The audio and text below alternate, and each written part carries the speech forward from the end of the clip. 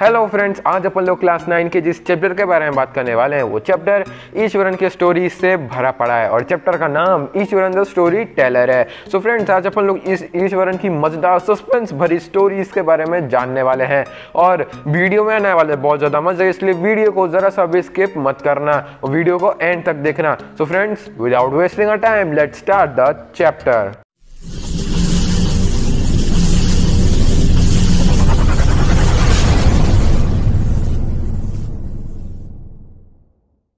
so so friends अपनी मज़ेदार कहानी शुरू करने से पहले आइए जरा अपन लोग इस कहानी के कैरेक्टर्स के ऊपर भी एक नज़र डाल ही लेते हैं। सो so फ्रेंड्स इस पूरे चैप्टर इस पूरे कहानी में दो कैरेक्टर्स पहले कैरेक्टर का नाम है महेंद्र और दूसरे कैरेक्टर का नाम है ईश्वरन। सो so फ्रेंड्स अपनी कहानी कुछ इस तरह से शुरू होती है कि जो महेंद्र है, वो असल में एक फ़िल्म में काम करते हैं जूनियर सुपरवाइजर की पोस्ट में। अब भाई, उसका काम क्या रहता है? काम असल में उसका ये रहता है कि जहाँ भी कंस्ट्रक्शन हो रहा हो, चाहे वहाँ पे ब्रिज बन रहा है, कोई डैम बन रहा है, कुछ भी बन रहा है, उसको जाकर ये देखना रहता है कि वो काम सही से हो रहा है कि नहीं कोई बेवकूफ़ी आलस ये सब कुछ को, कोई कर तो नहीं रहा। अब क्या रहता है जब भी कहीं भी जाता है मतलब अब क्या रहता है कि उसको जा जाकर देखना रहता है लोग सही से काम कर रहे हैं कि नहीं? तो बनी बात है भाई ट्रांसफ़र तो उसका होगा ही। तो जब भी उसका ट्रांसफ़र होता है वो अकेले नहीं जाता है। भले वो कुंवारा रहता है बीवी बच्चे नहीं रहते हैं वो अकेले नहीं जाता है वो अपने कुक के साथ जाता है और उसी कुक का नाम है ईश्वरन। तो फ्रेंड्स महेंद्र को मतलब जो महेंद्र है, वो ईश्वरन को अपने साथ ले जाता है तो उसको बहुत सारे फ़ायदे मिलते हैं। पहला फ़ायदा ये रहता है कि उसको ऐसा बंदा मिल जाता है जो उसके लिए खाना बनाए। एक ऐसा बंदा मिल जाता है जो उसके लिए कपड़े धोए। ऐसा बंदा मिल जाता है जो उसको आराम से स्टोरी सुनाए। तो उसको बहुत सारे ऐसे ही फ़ायदे मिल जाते हैं। अब क्या रहता है कि जो ईश्वरन है, वो ना मतलब कि उसका पूरे दिन का टाइम टेबल सेट रहता है कि कितने बजे उठेगा, क्या करेगा, कितने बजे। तो क्या रहता है कि सुबह सुबह जल्दी उठता है वो। अपने महेंद्र, अपने मालिक, अपने सर के लिए वो बनाता है ब्रेकफास्ट और फिर उसके बाद ब्रेकफास्ट बना के जब महेंद्र उस ब्रेकफास्ट को खा लेते हैं तो अपने लिए एक पैकेट खाना आप अपन कह सकते हैं कि एक तरह से टिफ़िन ले जाता है वो अपने साथ। और फिर उसके बाद जब भी महेंद्र को कहीं भी भूख लगती है, वो उस टिफ़िन को खोल के खाना खा लेता है। अब क्या रहता है, देखिए दोस्तों, कि जब महेंद्र चले जाता है काम पे तो अब ईश्वरन करता क्या है? तो अब खाना बनाएगा, खाना खाएगा और फिर आराम से नहाएगा, फिर अपनी तमिल की स्टोरी बुक्स पढ़ेगा। अब उसकी जो स्टोरी बुक्स थी ना, वो एकदम बड़ी बड़ी इंसाइक्लोपीडिया भर मतलब बहुत ज़्यादा ही मोटी नहीं थी। हंड्रेड पेजेस की रहती थी वो। अब तो क्या रहता है, वो महेंद्र को ऐसे ही अच्छी अच्छी सस्पेंस भरी मज़ेदार स्टोरी सुनाते हैं। तो अब समझ लीजिए, उसको अगर कोई स्टोरी सुनानी है कि मैं जा रहा था, मेरे सुनसान रात में मैं सीधा जा रहा था अपनी गाड़ी में और फिर उसके बाद मेरे को सामने गिरा हुआ पेड़ दिखा तो उसको कुछ इस तरीके से बताएगा, अंधेरी रात में मैं सीधा सीधा जा रहा था। मेरे को सामने एक ऐसा प्राणी दिखा जो अपने हाथ फैलाए जा रहा था। मुझे लगा कि वो एक राक्षस है। वो मुझे अभी खा जाएगा, पर मैं बिना डरे गाड़ी से उतरा और मैं जाकर देखा, आखिर वो है क्या? तो मुझे पता चला कि ये तो एक गिरा हुआ पेड़ है जिसकी ब्रांचेस इतनी बड़ी हो रही हैं। तो अपन लोग का ईश्वरन कुछ इस तरह से स्टोरी सुना जाता है एकदम मतलब सीधा सीधा नहीं सुनाएगा, एकदम जलीबी के जैसे एकदम गोल गोल करके एकदम सुनाएगा। तो देखिए, क्या होता है कि एक बार अपन लोग का ईश्वरन जो है, ये सुनाता है महेंद्र को एक स्टोरी अच्छी स्टोरी मज़ा आएगा देखना।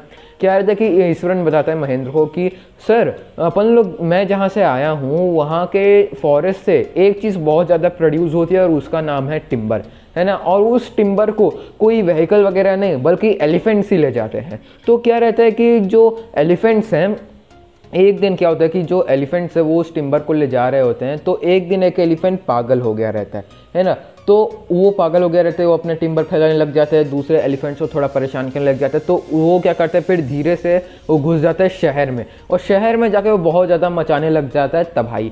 तो क्या रहता है कि लोग अपने दुकान बंद करके भागने लग जाते हैं, और अपने अपने घर भागने लग जाते हैं सब तो क्या रहता है कि धीरे धीरे हाथी पहुँचता है स्कूल में। अब स्कूल की तरह वो आराम से नहीं पहुँचते कि वो सीधा जा रहा था, गार्ड ने उसके लिए गेट खोल दिया और वो सामने मतलब स्कूल में घुस गया। एकदम विलन जैसी एंट्री करता है वो पागल हाथी, वो पागल हाथी सीधा दीवार को तोड़ के अंदर घुसता है और फिर उसके बाद जब ईश्वरन रहता है तो इस कहानी का हीरो ईश्वरन ही है भाई। क्या रहता है? ईश्वरन कहता है कि, सर, मेरे को डर तो बहुत लग रहा था। अधिकतर स्टूडेंट्स मतलब सारे के स्टूडेंट्स और, सारे स्टूडेंट्स और टीचर चढ़ गए थे टेरेस में स्कूल के। है ना? पर मैं नहीं डरा, मैं हाथ में एक छड़ी लेकर जा रहा था, जा रहा था और मैंने जाकर उस पागल हाथी के थर्ड टो में एक छड़ी मारी और वो हाथी शांत हो गया। अब फिर ईश्वरन इतना ही कहकर, जाकर बोलता है कि, मैं आपके लिए खाना लेकर आता हूँ, सर। काफ़ी रात होगी मैं आपके लिए खाना लेकर आता हूँ। अब महेंद्र भाई सोच सोच के पागल, आखिर ईश्वरन का आखिर हुआ क्या? हाथी फिर से गुस्सा हुआ? क्या हाथी ने ईश्वरन को कुचला? क्या ईश्वरन की हड्डी तो बहुत सारे उसके मन में सवाल उठते हैं। फिर आखिरी में महेंद्र पूछ ही लेते ईश्वरन से, भाई, आगे हुआ क्या था? वो तो बता। तो ईश्वरन क्या कहते पता है? ज़्यादा कुछ नहीं हुआ था, वो हाथी शांत हो गया और फिर उसके बाद उसके हाथी के डॉक मतलब एनिमल के डॉक्टर आए, उसको थोड़ा चेकअप वगैरह करे, अपने साथ ले गए और दो दिन बाद वो फिर से काम पे लग गया। तो भाई, ऐसे ईश्वरन सुनाते स्टोरी शुरू में मतलब स्टार्ट इतना बढ़िया और इंटरवल इतना घटिया। अब देखिए, ईश्वरन का ऐसा मानना रहता है कि अपन लोग को एक दिन ऐसा निकालना चाहिए, जिस दिन अपन लोग अपने एंसिस्टर्स के लिए अच्छा सा खाना बनाएँ। तो क्या रहता है कि ईश्वरन महेंद्र से पूछता है, क्या मैं अपने एंसिस्टर्स के लिए रात को अच्छा सा खाना बना सकता हूँ? तो महेंद्र कहता है हाँ बना लो। तो ईश्वरन रात को बहुत बढ़िया खाना बनाता है और महेंद्र उस खाने को गपा गप खा ही रहा होता है, मज़े से, शौक से। तभी क्या रहता है कि ईश्वरन कहता है, सर, मुझे लगता है कि हमारी फैक्ट्री जहाँ पे बन रही है ना, वो जगह पहले शमशान हुआ करती थी। फिर उसके बाद ईश्वरन कहता है, सर, मैं ऐसा ऐसा इसलिए कह रहा हूँ क्योंकि मेरे को जिस दिन अपन लोग यहाँ पे आए थे, उस दिन मेरे को वहाँ पे एक ह्यूमन बॉडी का स्कल दिखा और उसके अगले दिन मुझे ह्यूमन बॉडी के और भी बोन्स दिखे।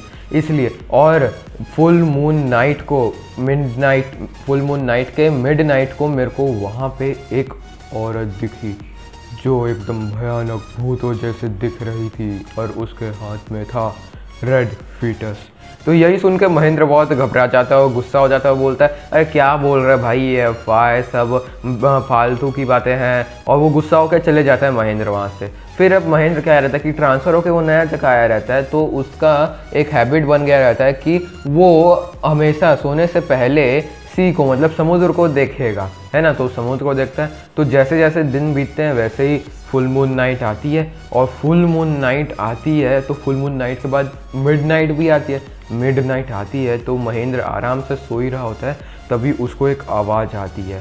है ना? उसको लगता है कि कोई बिल्ली जो है, वो माउस को ट्रेस कर रही है।